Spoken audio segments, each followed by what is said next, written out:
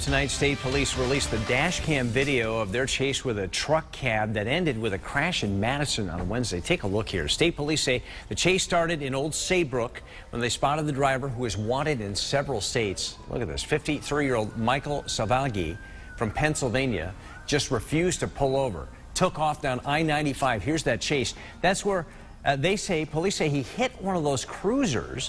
troopers eventually got him to stop using those stop sticks with spikes in him. Watch this. Here he goes. He tried to run off the other side of the highway. There he goes, but police did catch him, and he was arrested.